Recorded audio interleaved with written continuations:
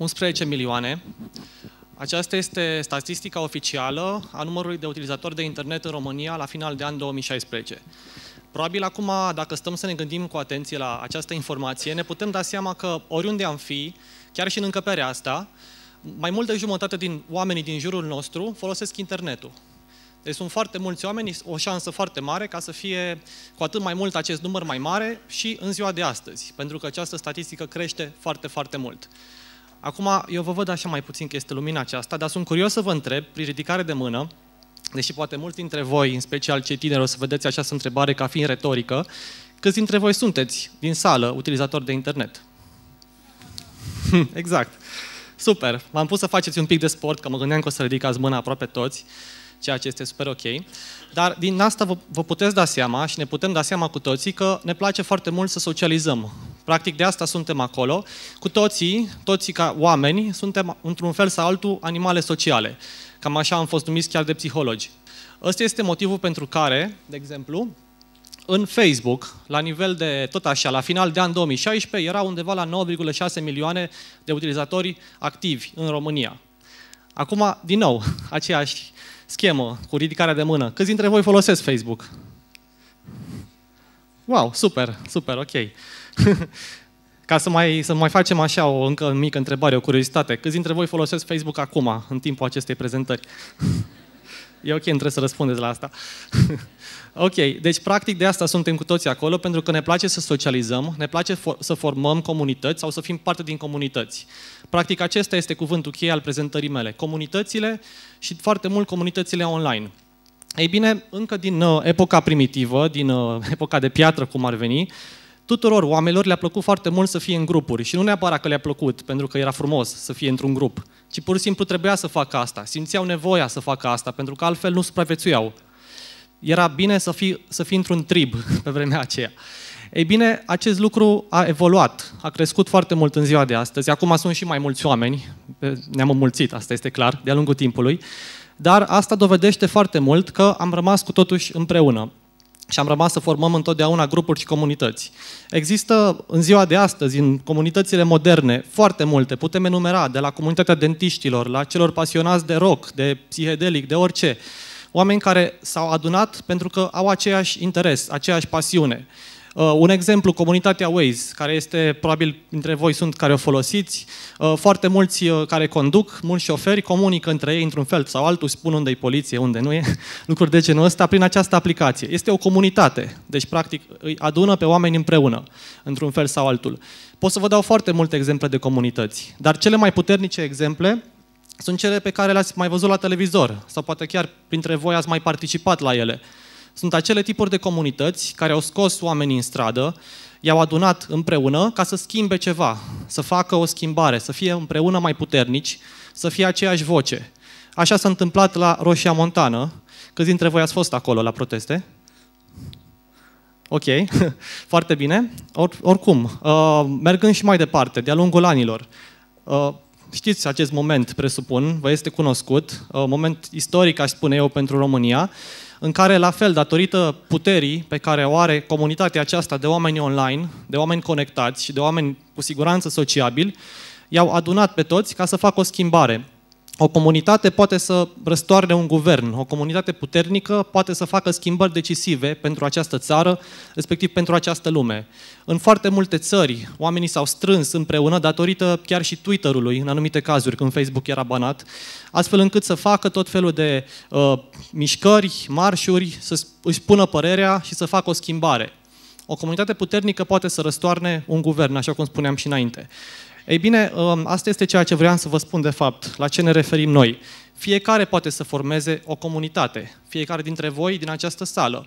Tot ceea ce vă trebuie este pur și simplu să credeți în ceva cu foarte mare putere și foarte mare pasiune, să țineți strâns acel ceva, probabil la fel de strâns cum țin eu acum microfonul, și uh, de asemenea să fiți cumva uh, foarte, să zic așa, uh, mă rog, să uh, vă gândiți că credeți foarte mult în acea idee, astfel încât să faceți ceva să se întâmple.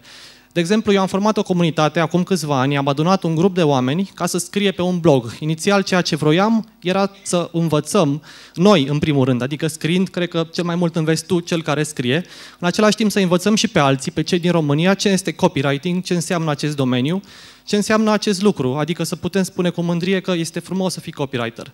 Nu cunoșteam pe nimeni, acum 5 ani, când am înființat această comunitate, care să facă același lucru ca mine. Adică să scrie, practic, pentru bani, să scrie pentru companii și să scrie un mesaj de vânzare. E bine, astfel încât așa s-a format o comunitate care de-a lungul timpului m-a făcut să cunosc foarte mulți oameni faini din toată țara, foarte mulți oameni pe care pe mulți dintre ei nu i-am văzut deloc, față la față. Adică nu m-am întâlnit cu ei deloc. Pur și simplu am discutat, am format împreună această comunitate, așa cum spuneam, uh, ne-am ajutat între noi, ne-am oferit resurse și am scris și am oferit informații. Peste 90 de autori sunt momentan care scriu pe acest blog și în momentul de față, dintr-un blog, s-a transformat într-o afacere, într-o agenție. S-a format, a făcut un pas în față. Ei bine, uh, acum cum să creezi o comunitate în trei pași simpli, s-ar numi, practic, această prezentare.